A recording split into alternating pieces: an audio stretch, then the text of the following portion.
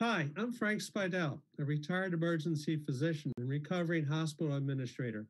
Welcome to the Doctor's Inn via Zoom during the corona crisis of 2021.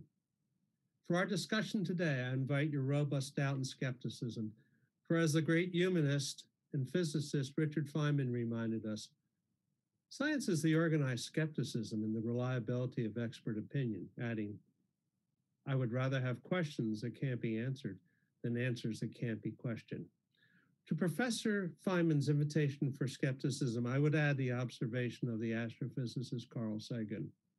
Extraordinary claims require extraordinary proof. Now, I am neither an epidemiologist, public health official, nor infectious disease specialist. Always defer for your healthcare guidance to your primary physician, your local and state health departments, and the CDC.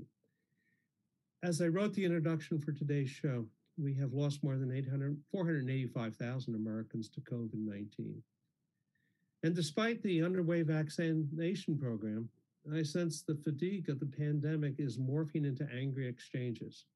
Recent disagreement is being replaced by accusations. One may be labeled a science denier, denier and lectured about settled science simply for disagreeing. Amidst this head jolting fury, individuals and elected officials must respond to a killing pandemic.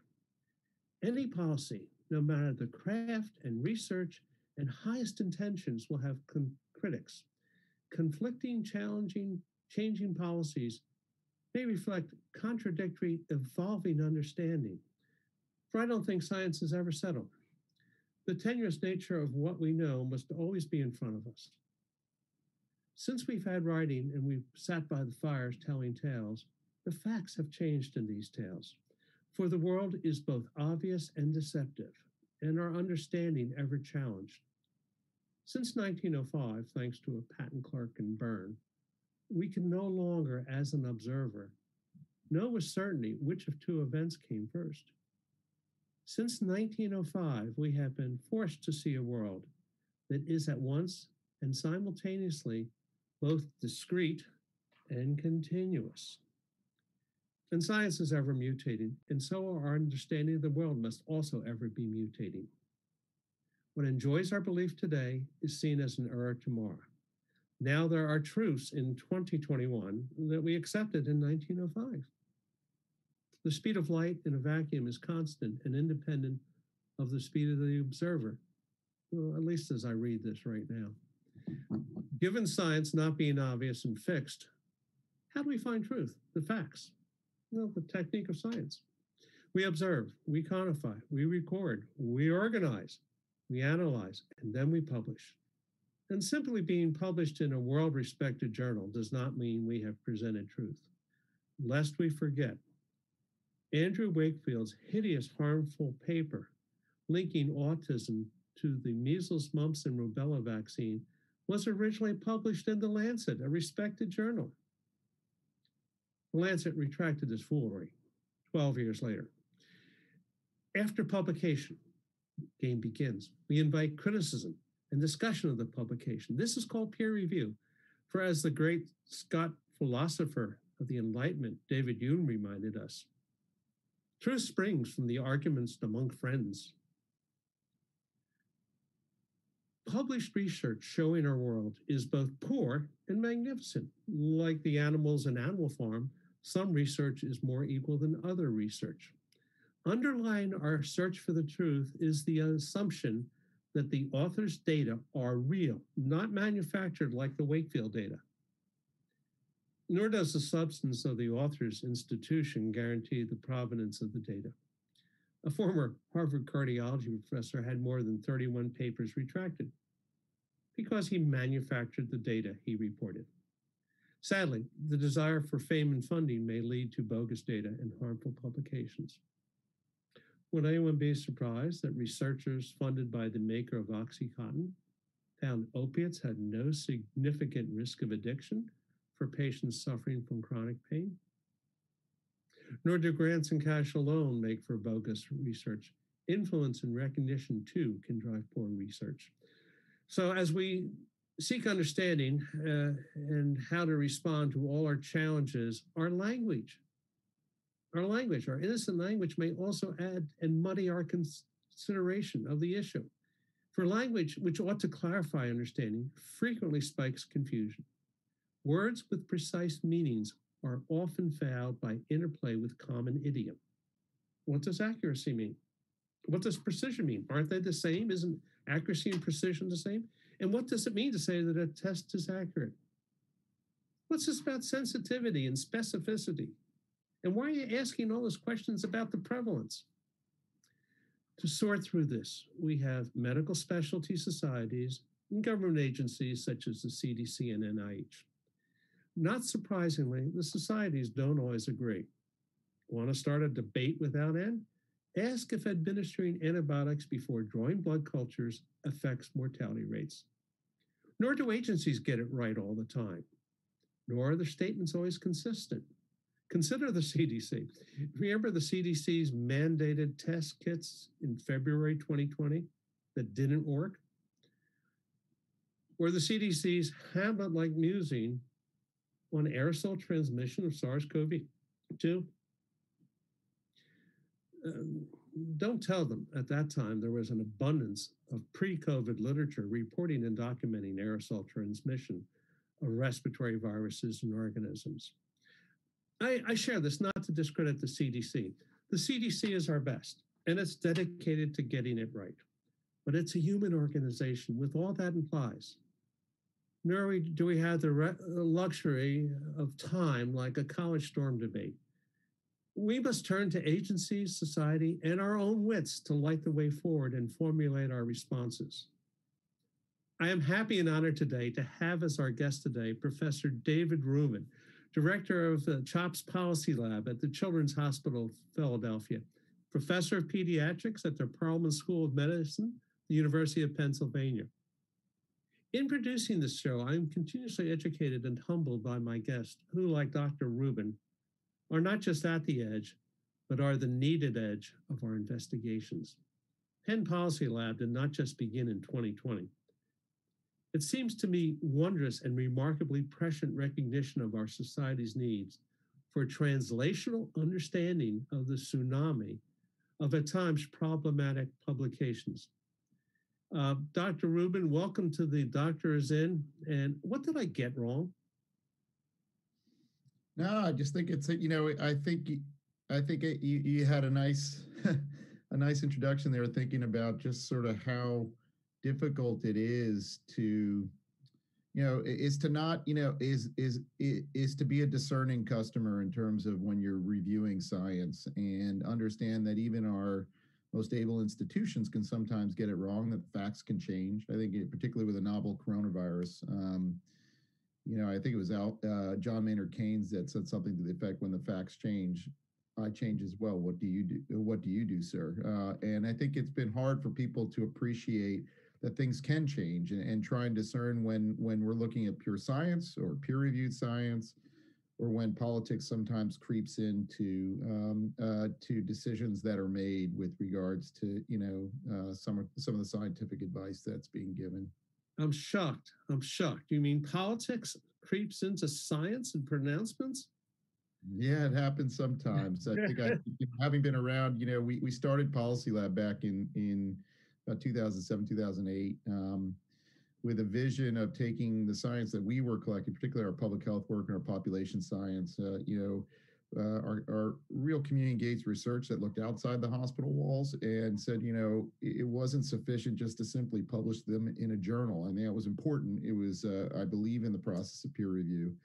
Uh, but it was also important to translate that information and also be circumspect as to its limitations.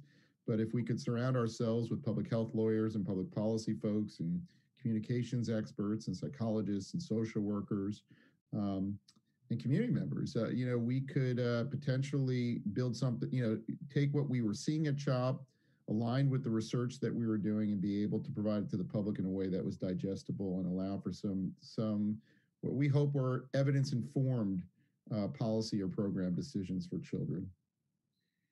Was there anything in particular, Professor, that, that, that got this started back in 2007? Was there any kind of like burning bush that made you say, hey, this is a problem, we got to address this? Well, on the individual side, you know, I you know I think I've always considered myself a bit of a tweener. my early work, I worked directly with the child welfare system in Philadelphia. Um, you know, I got to know a lot of city officials back, you know, uh, during the first ten years of my career, um, and I just felt the need that that that there was a great divide between policy and pra- uh, practice in the research side. And um, and to me, it's it's not that the evidence, you know, I didn't take our science too seriously to say we were truth, but that I just hope to provide a venue uh, for um, you know for policymakers or program developers to use evidence. Uh, but I didn't place a value judgment on how they interpreted it, and I think that's a really important distinction. Um, the goal is to provide the information, uh, you know, but not necessarily to tell them what to do. They sometimes ask you, um, and uh, you know, and but I think the most important is to garner their trust and to hope that they can at least interpret the information and then within their value system try to make a better judgment about the next step ahead. And people with different uh, different beliefs will make different decisions. But I was just happy as long as they were willing to listen and try to interpret it at least from their lens.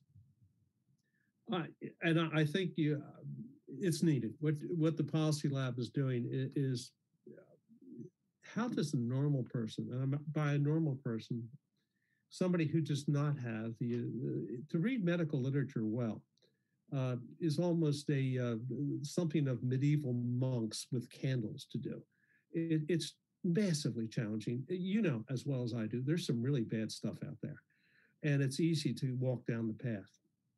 So uh, it's what you're doing is and, and, honestly, peer just the word peer review does not necessarily get it right. I've seen uh, tons of papers published where, where uh, you're scratching your head and thinking, how did that get through peer review? Oh, but, but uh,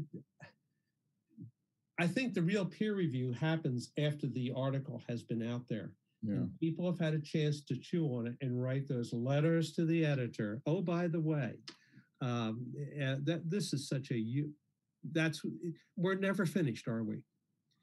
Uh, no, I think you have to, you know, it's sort of, I, I see it as, as a sea of evidence and what you're trying to do is is is recognize that no one paper speaks uh, speaks with authority but that it's you have to interpret it in in terms of the, the continuum of other related work to try to see you know, this is the way my mind thinks, but where the probability structure is moving in terms of the certainty um, uh, of, of, whether, of, whether, you think something is more opinion versus no. I think there's real fact here. I think there's a, a, a body of evidence which which would suggest that this is what's going on. But you're always questioning as to what am I missing? Why, you know, where is my confirmation bias? You know, sometimes you can have yeah. a dissonance where you want to believe a certain outcome.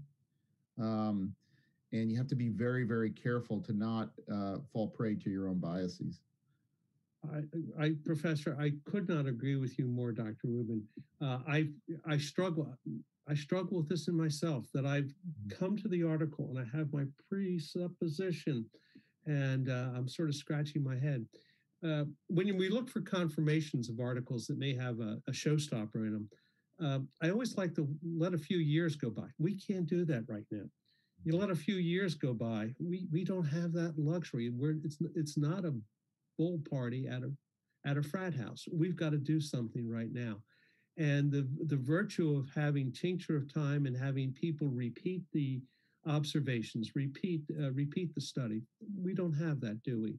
No, no, we don't always have that. I mean, over time, you do. You know, you often uh, you get a preponderance of evidence, particularly around sort of uh, you know medications, vaccines. You know, you have a, a, bunch of trials that can be organized into a systematic review, but often you don't. Um, you may have randomized trials, and everyone considers randomized trials the holy grail, but randomized trials are like lab experiments, and they don't all they don't always translate to the real world. And so, you know, uh, you know, nor can you, we do, nor can we do them ethically on occasions. That's correct. And sometimes, you know, for example, even now as we're doing the vaccine studies in children, we're not looking for efficacy. We're just looking for equivalence um, because I don't think it would be ethical not to provide a vaccine uh, to a child and to provide a placebo. Uh, in you know, given the efficacy data we've already seen for the SARS-CoV-2 vaccines. Uh, yeah, and I think that uh, I every people ask me, I'm sure they ask you constantly I have no problem with getting the vaccine if I ever get the vaccine. I have no problem with that. Of all the things I worry about, that's not one of them. I concern more about a drunk driver taking me out than I am a significant problem with the vaccine. The mRNA vaccine or, or a seismic change uh, we've enjoyed. So, what is ACIP? I keep seeing those letters. Who are they? ACIP, they're an advisory group to the CDC that uh, provides advisory recommendations on the safety and efficacy of vaccines and, and vaccination schedules in the country.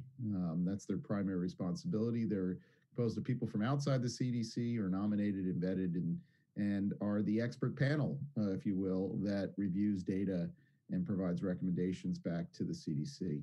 So they're they're not part of the CDC. They're not a rubber stamp. They look at things completely independent from the CDC and make an advice.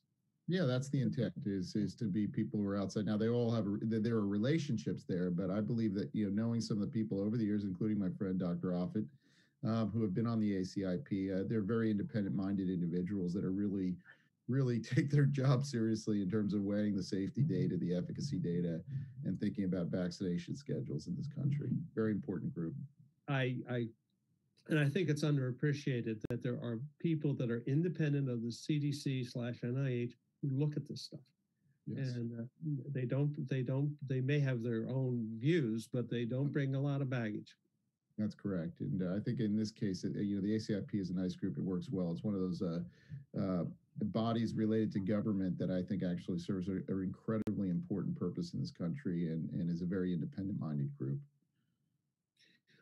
Uh, you touched on this earlier, Professor, that our uh, we have different kinds of trials that kind of have hierarchies of uh, reasonableness, one might say, or surety. I don't know the right word for it, but I feel more comfortable if I can see a randomized double blind controlled trial going forward mm-hmm. than consensus of experts. Uh, I always get panicked when I start seeing consensus of experts. Uh, it's sometimes it's the best we have because we don't have anything else. To, you know, we mm-hmm. someone like the ACIP, we get people together who have looked at this for not just two weeks but for 20 years and say, "What do you think about this study?" Did I phrase that right? Yeah, I mean, I think that you have different levels of evidence. I mean, I've, you know, and I've seen the whole gambit. I think, you know, when you're looking at immunizations like SARS-CoV-2 vaccine, I think it works very nicely that the the hierarchy of trials um, and how you weigh that evidence doesn't always work as well when you're thinking about community-based interventions or a decision of whether to open schools during the pandemic. Like there is no randomized trial that's going to help you, and you're really trying to sift through evidence, some of which is peer-reviewed, some of which is anecdotal um, and it can be very very challenging but with regards to the you know the top of the food chain if you will the immunization uh, you know recommendations i do think that that there's a there's a, a real hierarchy of data that's used to inform those decisions uh, it, I, I, and I, as it should, because you know, immunizations, we're taking a well person and doing something to them, which is a little bit different than treating somebody with acute asthma. Uh, you mentioned school openings. Bless us and keep us. There's enough here to, to write books on. In the summer, the American Academy of Pediatrics, kind of out of the blue, wrote uh, actually two separate statements saying we got to get kids back in school. Mm-hmm. And they kind of highlight this is going to be a risk reward decision process, and not having kids in school causes problems. And some of these problems may be longstanding. And as some people have pointed out that I respect, the problems in not having kids in school, it's it's what they call a regressive policy.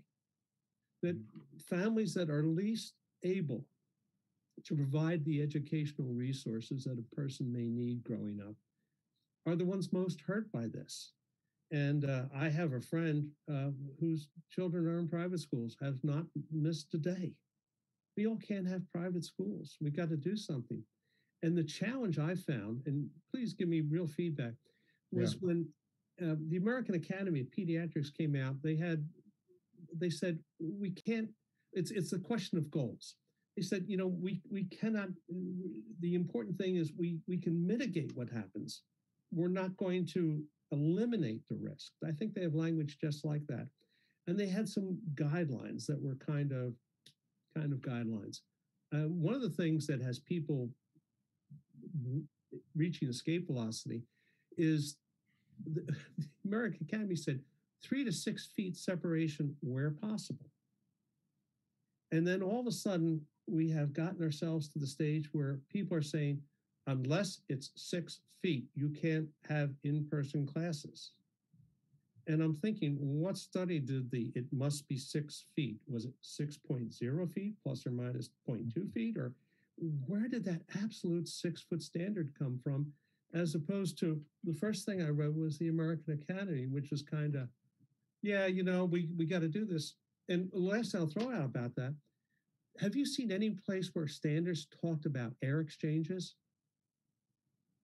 You know, you know, it's interesting. You're covering a lot of t- terrain here, and I think it's. I think the school opening policy. I mean, it, you know, this is a great example where you had to. You know, there there are two. I I view it as an X versus a Y. You have what data do we have, and that data is changing every day. Yes. And then where we are in the pandemic, uh, in terms of risk um, because you know to me a good uh, eh, you know in terms of your your tolerance for risk you know it's very different if you're looking at this in november when when this thing blew in like a hurricane right after halloween into the philadelphia region versus now right where we have declining transmission um, and we're looking forward to a spring where we're seeing declining transmission and your tolerance for risk changes but then you have information in terms of uh, f- from from the region from across the country uh, that you're sifting through. A lot of these are anecdotal or descriptive reports.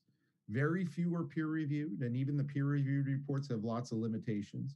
You're hearing things about Europe, and so you're trying to sift through this to trying to find the middle ground. Now, in terms of the six feet, um, you know that's you know we've supported the six foot recommendation to the great extent, greatest extent possible since the beginning, particularly at a time when we knew that we were about to go through a major surge uh, in the fall and winter. That and as we reopened schools in the fall, we were very careful because we knew that as we built disease burden, particularly uh, uh, among the community and kids included, uh, that eventually this would spill over with seasonal transmission into a very difficult um, winter. The six feet is based on the nature of, of how this virus spreads, which is principally a large droplet um, transmission. Secondary attack rates of this virus sort of in the 15 to 30 percent range within a household are not measles. And I, you know, that's a that's a you know that's what you know uh, Dr. Offit would say to me all the time and my and my infectious disease colleagues.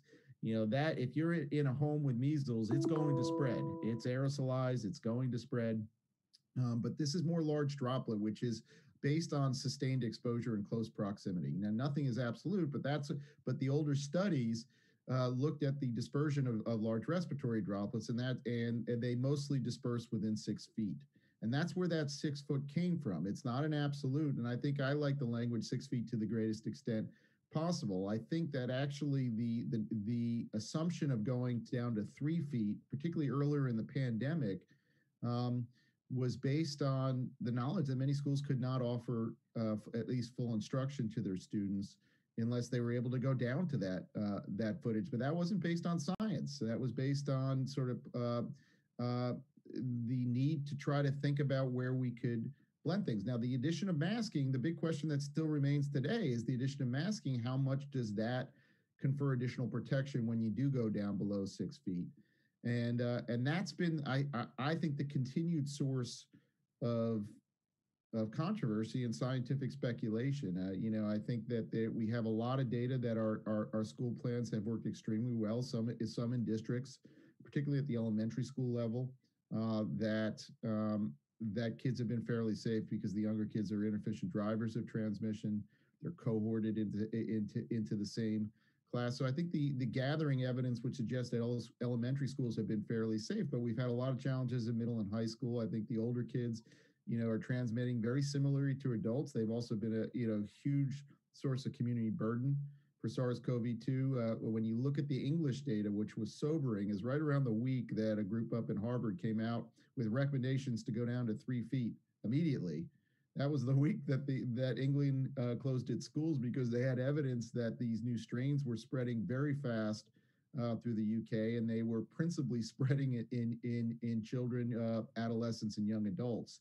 And so, you know, what you hear on the news um, is is often, or what you might hear in in opinion pieces, is often not inclusive of the public health data that people have uh, from their contact tracing, which recognizes that transmission can occur. And so, how do you sift through that data when you're trying to advise school districts um, about how to play the middle and and what their what their own temperature is for risk in terms of getting kids back to school? That's been the art of this the entire time. Uh, th- thank you. Uh, I'm so glad we're doing the show. I'm I'm learning all the time. Uh, let's go. Uh, the there's a study. It's the only study I've known that showed this, and I'm sure you know the literature better than me. By uh, I think it was Park in Korea. Okay. Published published something in CDC that said, "Oh, uh, kids are uh, uh, high school kids. They're big spreaders. They're bigger spreaders than adults." And uh, I was a little bit surprised that has that study been repeated anywhere? And the other, yeah, go ahead, finish your. And the other thing about that is, uh, that study is really that is an anomalous data point because they looked at household contacts and then they looked at uh, non-household contacts and they did their tracing. And uh, the non-household contacts, as they broke it out for age groups, it just goes up like it expected it would uh, except for the household contacts, it spikes larger than the highest recording they have. Mm-hmm. And that's the kind of piece of data that I would think uh, you'd have a little, let's repeat the study and see what the repeat looks like. Yeah. Because there's been a lot of policy based on this one, and that's not peer reviewed, is it? It's just a CDC public. A lot of the stuff appears on preprint websites now, and yes. so it, it's very hard. I mean, you could you could extrapolate. There's been a lot of news in this country the last couple of weeks about variant strains and how uh, you know potentially a quote hurricane is coming ashore uh, ashore with the growth of these variant strains. When in actuality, the data is, is showing declining transmission in every state in the country. Um, right now and and the study that they referred to is one out of Florida that said that that the variant strains are double quote doubling every 10 days. Well, if you actually looked at that preprint, which has not been peer reviewed, what's doubling is the proportion of viral isolates that are identified as these strains. But the absolute number of viral isolates are going down. And yeah. so, you know, so that to me would not have stood the test of peer review to say that there's a doubling going on here. You know, if you start with 200,000 and you drop to 100,000, but you, the proportion of the isolates doubles, you actually haven't changed a thing. It's it's a one to one ratio. Yeah, and uh, and so you know the you know most that was missed in all the reporting um, across the country. Um, the the headline was you know the variant strains are doubling, and that's why what you're doing with Policy Lab, this is such great uh, service to the. It's a needed service. It's a needed innovation because people aren't equipped to look at it like that. Mm-hmm. We uh, every day we're a carpenter. Every day I I I make Philly cheesesteaks. I've got things I'm doing.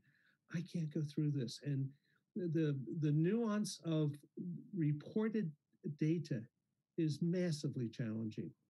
Very hard. Uh, so uh, going back to the thing about uh, in some areas, this six foot thing is held as an absolute. Yeah. And kids, schools were not open because of this.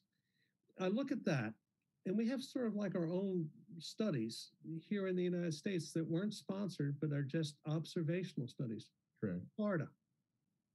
Has Florida been a disaster when they've had basically open schools from the start? Uh, you know, I would be careful. You know, someone plays the middle, you never make anyone happy, right? um, Florida's had extremely high rates of infection, and the, the, the insidious thing about this virus is is that you know as you got to really high rates of transmission, you know, contact tracing broke down, mm-hmm. and and you know the, there's a three degrees of separation here. You know. Uh, in terms of looking at sort of the role of, of transmission among children um, and adolescents in and the contribution to community transmission. Notice I didn't say schools, right? Um, yeah. And so, you know, and so if a child infects their parents and their parents goes out have a, eh, with friends and that, and and and and they're at dinner, and and then the the friend gets infected and then goes visit their their mom, and their mom gets infected and ends up in the hospital and dies, it's very hard to source that back to the individual child. And so what I've learned is two things in this pandemic. And I think that's it's hard to message this. Kids can get this virus. Yes. Right? And this is where confirmation, no one wants to, there's a cognitive dissonance. Kids can get this virus, they can transmit this virus. Yes. But under the presence of strong safety protocols, we can provide a still provide a safe environment for instruction in schools. Now, there may have been moments like in November and December where it made sense for everyone to take a pause because we were trying to slow down transmission at the Thanksgiving table or at the Christmas table.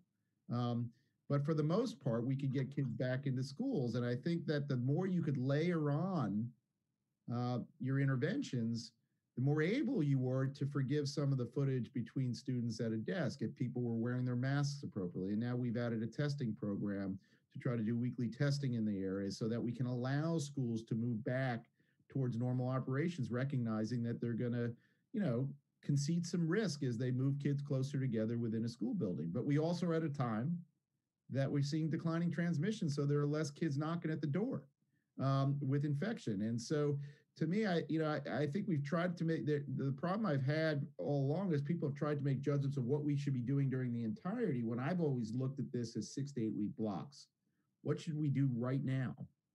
Um, and based on the evidence that we have, and I think we're at a moment, you know, optimistically that I think we're going to see a lot of schools moving towards opening, even in our large cities.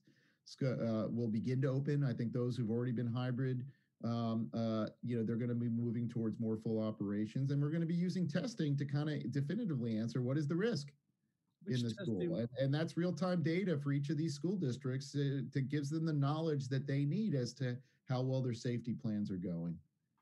Which testing? Antigen testing? Yeah, we're using a combination of uh, point of care antigen testing and uh, and point of care molecular testing. So you know we're we're, we're providing them some antigen testing to screen the sick individual, uh, whether a staff or a child who uh, who comes to school well, and maybe and maybe come down be sick during the day. Those things can create a lot of anxiety. Those situations, and if we can do a rapid test very quickly, um, we can sort of decide which kids uh, need uh, where we need to uh, quick quarantine and decision making, where we might just send the kid home or the staff member home and have them convalesce go see their doctor for confirmation. Um, and then we do a weekly assurance test, similar to what they've done in the colleges, to start doing more full participation weekly testing of staff, of high risk students like our athletes in the high contact sports, our kids in the music and theaters program, uh, our special needs kids who can't mask or maybe distance during the day, and provide them the weekly testing and, and try to identify earlier in convalescence some of those asymptomatic individuals um, and remove them before they can uh, really potentially be a source of outbreak. It's not viral elimination, it's viral reduction. Um, and then we use the uh, molecular point of care test to confirm the positive so that we're not over calling false positives. I see what you're saying. Uh, and the follow up with the molecular test is almost an absolute, mm-hmm. as if we're talking about testing asymptomatic patients with an antigen test, that uh, that's PPV is not exactly where we want to be on that. Well, PPV de- depends on the yeah during de- uh, November December PPV got a lot better. I can tell you. But, I, yeah, but not. But you're right. That's why we include it. So we have a false negative and a false positive problem, right? Yes. Um, it's actually performed really well. Most of our positives have been confirmed uh, by our molecular point of care test. We use the Cue, which is what the NBA uh, has been using uh, as its molecular test. It's a it's a point of care test. But you're right to say we were aware of the of the of the unexpected what we call them the unexpected results. The unexpected negatives, right, should be confirmed with a molecular test. Like someone who has a COVID exposure comes up negative and is symptomatic should have that molecular test. Yes. And the unexpected positives are your asymptomatics who turn positive, and then we have the molecular test. So it's been a nice model, recognizing the concerns, like you said, about false positives and false negatives. Uh, real quick, I know we're running out of time. I'm gonna pick your brain. Uh, fomite transmission. I have been looking for a documented report of a fomite transmission. Help me out. Do I have to keep on looking till the end of days? Is there one out there? We have, you know, I, I think public health folks probably have uh, uh, have have some evidence, but it's rare. And and honestly, you know, I think we've we there are some things we've gone down a rabbit hole a bit, um, and we'll talk about. One of them is fomite transmission. I think you want to do good hygiene practice, good sanitation, uh, and, and those types of things. But but but you know there are some extraordinary uh, things that some places were recommending to do, and and it, to me, I think pragmatic is the name of the game here. I think that's also come up with respect to ventilation, um, uh, frankly, you know, and uh, look, ventilation is important, um, and you do it if you can. I think there's simple things you can do, like crack a window, put a fan in a room, or open a door to a classroom. Um, but knowing that this is principally large droplet transmission, um, you know, you know, we have to recognize, similar to the six feet versus three feet discussion, uh, that um, your primary interventions are really masking and distancing, right? And and how you accomplish that during the day move kids around, and your sick policy, keeping sick kids out of school. Um, that's probably 80, 90% of the value. And we can't use concerns about ventilation as a deterrent to providing in-school education for children. Um, you do it if you can, but it's not the primary intervention uh, with the knowledge that this is principally a virus that is transmitted in close proximity with sustained contact. Uh, this is this has been wonderful. Uh, going forward, I come back to the American Academy and also to some early things that were were written in CDC about the if possible where feasible for six feet. Yep. I, I I I kind of feel comfortable with that, and I noticed something. Uh, God bless you guys down there at the Policy Lab. You you review and revise your material all the time. Correct. Uh, I was looking at your uh, November executive summary, and then there's a December publication about getting kids back in safely.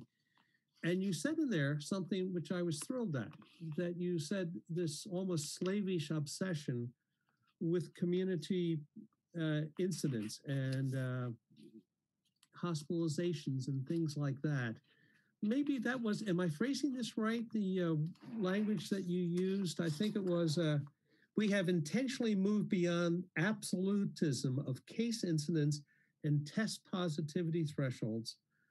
Although they were helpful for knowing how and when to start schools in late summers, are no longer the most pressing questions.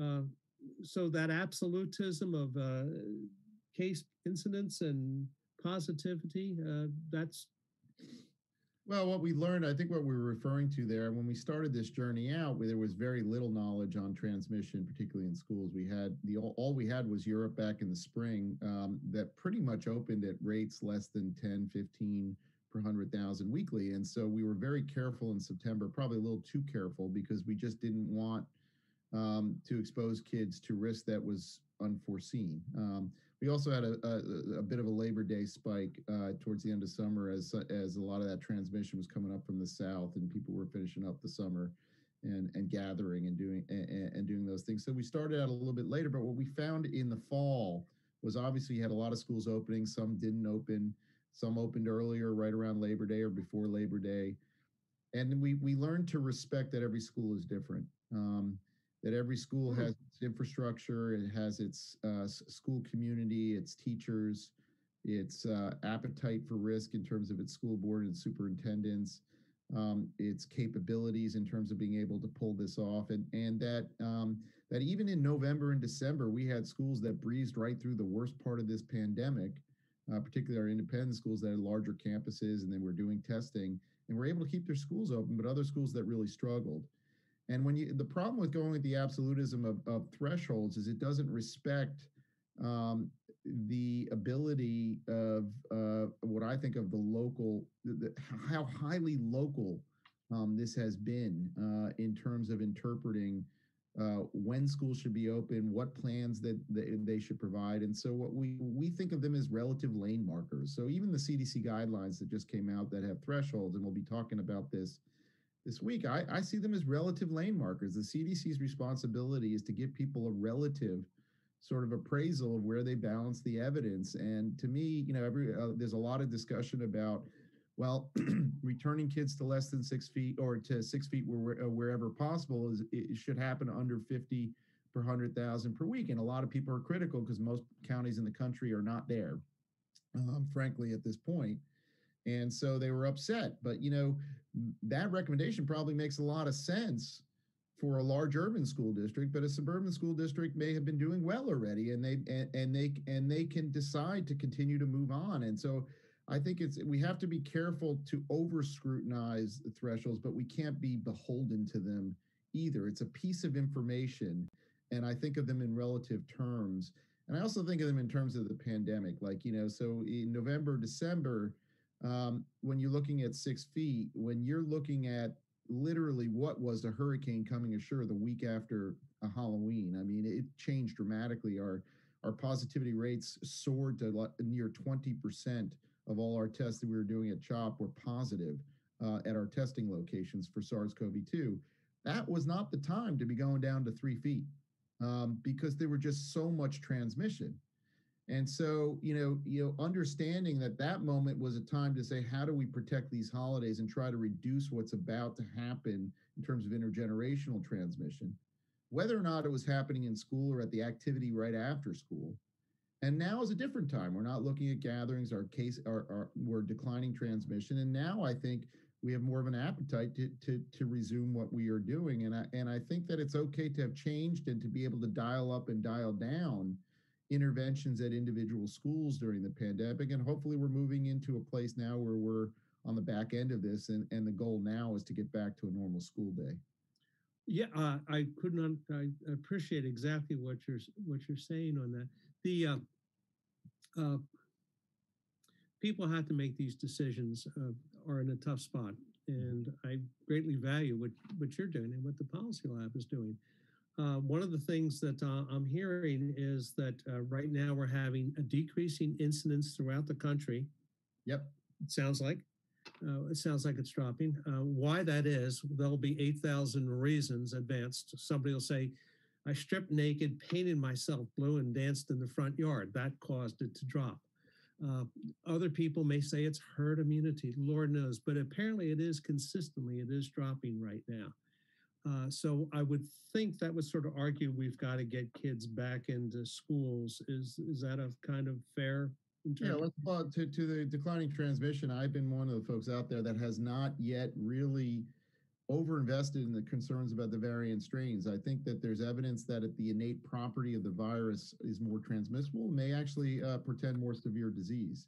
Um, I think there's some emerging evidence out of England and, and that I think in well-designed studies uh, would suggest that. But but I think what the the problem in terms of the messaging of that is that there's a lot of things that affect the transmissibility of a virus at a given moment in time. Um, and the biggest is the seasonality of this virus and uh, and there's also behavior obviously if you had a big if you had uh, thanksgiving or christmas about to happen that's a lot different than we are now staring at a calendar um, where the next event is probably um, st patrick's day and it's not a, a, an event that everyone participates in. Um, you know so what i you know the seasonality of this virus is poorly understood. Some of it's temperature some of it's probably uv and the and the longer days people going out there's behavioral components of people moving outside and spacing out. Um, there's a lot of uh, aspects to seasonality but it's a very strong influence in the models combined with immunologic protection either through natural infection or acquired immunity uh, from the vaccine and those forces are over, what i believe are overwhelming um, the proclivity of the virus to spread more easily uh, based on you know uh, some of these variant strains, and that's what the data would show right now uh, in terms of what's uh, of what's happening. And the quicker we can vaccinate, and the quicker we can move towards spring, I suspect we're going to see declining transmission as this virus becomes more endemic. So the conclusion would be, and now that we've had several weeks, and already you know there was a non-peer-reviewed model that came out the first week of the story about the variant strains that demonstrated we were going to have very high transmission through May. This was uh, produced by the CDC and it, it came out and non peer reviewed. And it just wasn't true. And it's already been shown not to be true. And I think that now we've had several weeks, we're close to March, and we still not have, have not seen those predictions come true. And I think we have to start moving quickly to make plans to continue returning kids to the classroom I think it's okay to plan for something in early spring. And if for some reason we're wrong about our interpretation of the data, you can always slow down. Uh, but schools need time to plan. They need to survey their school communities and make sure what the, you know, uh, that their school communities are comfortable with the plans to resume more normal school days. Uh, but I suspect we have a real opportunity here to start uh, to really uh, increase the number of children returning to school and get some schools, particularly elementary schools, back to full time. Understood. And I thank you for that observation. I'd, I'd like to close, and I cannot thank you enough, Professor. I'd like to close. I'm going to make a statement. I want you to comment on it. Um, I think one of the challenges we have going forward is that goals. What is the intent of our policy? Sometimes we don't often specify well. And when we do specify them, we use words that are sometimes soft and interpretable by virtually anything. Uh, vaccination priorities, uh, healthcare providers uh, are in the 1A category. Mm-hmm. What's a healthcare provider? Boy, there's an art there. I can define anybody as being a healthcare provider. But we've got to get a policy and go forward with it. Goals. If our goal is to mitigate the transmission of a virus, is that different than a goal to contain the virus or to uh, if we say we want to keep transmission as low as possible, doesn't that mean nobody goes to school? Because that's how you keep the transmission. Well, lockdowns, uh, you know, the truth is lockdowns do work, but they come with an incredible cost, not just to our kids, but to our business owners, our restaurants. Um, and I think I, you know, I've always favored. I had the opportunity to work with the task force um, uh, with with Dr. Birx in particular, uh, while, uh, while she was at the task force. And I've always been one to, you know, the goal here was always to manage transmission. And yeah. uh, and I think that people didn't quite understand that the goal was not to we we never had a chance to eliminate transmission, and it was tried to balance and manage so that our hospitals wouldn't be overwhelmed, but give people the choices and the right information to manage their lives, get as many kids into school as we can, let our, businesses try to limp along and try to get through this as safely as possible, allow them to have some business. And we needed to do a little bit of all of that. And I think that was reflected in the way Dr. Birx and the task force tried to approach this. I mean, it was a very difficult situation. We're finding out in, you know, even in Europe, where they started out looking much better than us, they've had a very, very difficult winter. Um, but I think now, as I, as I look forward, I, there's just a lot of optimism now that we're opening up sectors of society. We're a little bit further along, and so there was a little bit of a grain of truth coming from every direction um, in terms of people's interpretation. Should we should we keep our businesses open? Should we open our schools? Should we um, should we uh, be out and about? I think the the one consistent piece of advice was the use of masks that would have helped. I think through all this that if we were all wearing our masks and there was consistent messaging, I think it would have helped manage transmission. Um, but I think overall, we're looking forward, and I think there's a lot of optimism for folks out there that, uh, and certainly in our modeling team at CHOP and Penn, that we're moving in a good direction right now. And, and this is an event of the lifetime for all of us, our kids, our families. Um, and we're just hoping that the worst is behind us. Well, Professor Rubin, again, I cannot thank you enough, mm-hmm. not just for being a guest on the show, but for the work you're doing down at the Policy Lab. I, you're a brave person. I'm sure people throw stuff at you all the time. You're a better man than I am, Gunga Din. Uh, again, I want to thank you so much. In closing, the magnificent humanist, physicist, and writer Jacob Bronowski spoke of the hideous evil of the Holocaust, warning that when people believe they have absolute knowledge with no test in reality, this Auschwitz is how they behave. Adding emphatically, every judgment in science stands on the edge of error. Absolutism, dogmatism, certainty, these are the tools of zealots. These are the coin of the fanatic who unleash the worst while promising a better, safer world. We owe it to those who came before and who struggled with uncertainty and resisted those who knew with certainty our emulation. Wonderfully, Professor Bronowski offered the paradoxical quote of the Lord Protector of England, Oliver Cromwell. I beseech you, in the bowels of Christ, think it possible you may be mistaken. Thanks for watching The Doctor is In and stay safe.